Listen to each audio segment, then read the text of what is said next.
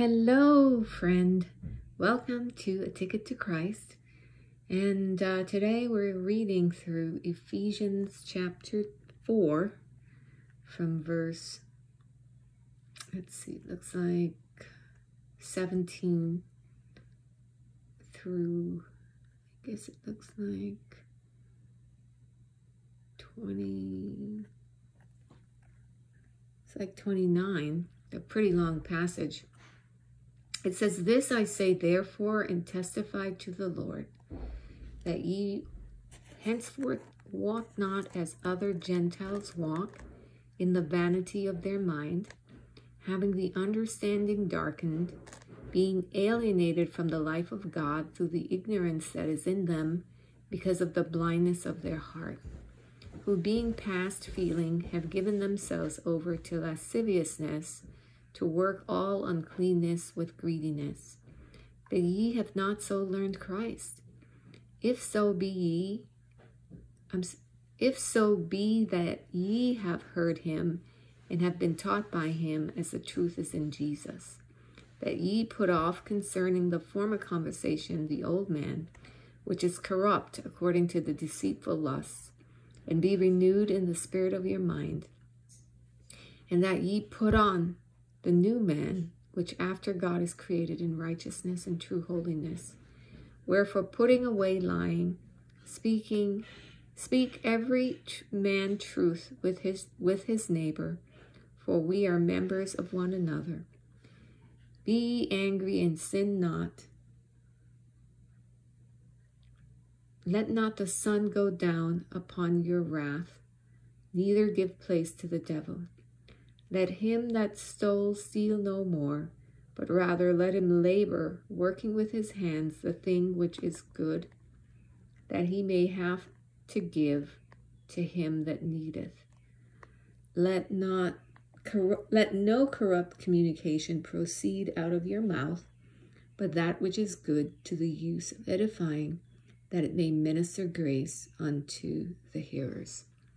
And just really praying for yourself during this time. Um, maybe it's a very tough time uh, in the nation. Maybe it's a very tough time in your life. Maybe you're going through a very tough season. So just praying through your own character, just really doing a self check to make sure that on your part that you're not just sitting in squalor. You're not sitting in unholiness. You're not sitting in a place whereby um, your life isn't pleasing to God. And uh, we always want to make sure that we do that self check, you know, just to watch our life and watch our doctrine.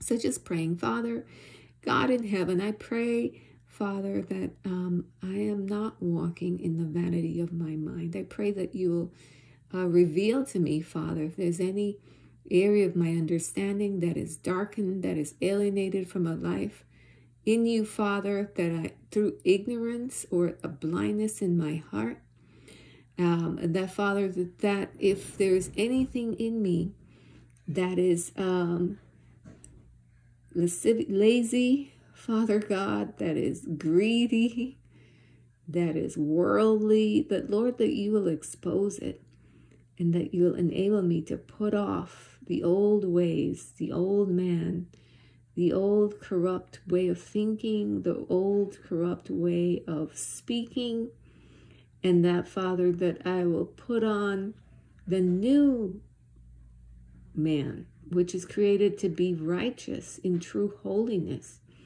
Father, that I'll put away the, the errors in my character, God, that are not like you, lying or speaking um, it with an attitude that is not a righteous attitude, God. Um, enable me, Father, in no way to give the enemy a foothold and to uh, be honest in my work, be ethical in how I work, that what comes out of my mouth will not be corrupt and will not defile others who have to listen to me. And God, I pray even for the attitude and tone of my mind, my heart, and my communication. Father, that you'll forgive me and help me to walk in a way that rightly reflects your attitude and your approach to people, Father. In the name of Jesus, I pray. Amen. And um, yeah, just always making sure that as you pray through, or if you're going through a hard time, you're going through difficulty, it's always wise to do a self house check and uh, praying through everything because the Bible says our heart is deceitful above all things. Um, I was just also listening to a really convicting message, and uh, the preacher was preaching, and he was saying that it's not, sometimes it's not a specific sin that we need to repent of, but we need to repent of an attitude that we walk with, a mindset that is worldly, that is not loving, that is not humble, that is not empathetic or merciful or kind, that doesn't um, treat people better than ourselves, you know, that we are puffed up or um, we have the pride of life, you know, valuing the things of the world, valuing um, empty things, you know, social position, race, or um, what else people can value, pedigree, you know, you come from this background, you have this education. All of those things God views to be empty, empty, empty things. And just letting go from those patterns of the world, that kind of socializing, that kind of an empty vanity. God is not pleased with that. And just repenting of that and turning to Him. Beloved, I hope that helps you, and I hope you have a great night. Take care. Bye bye.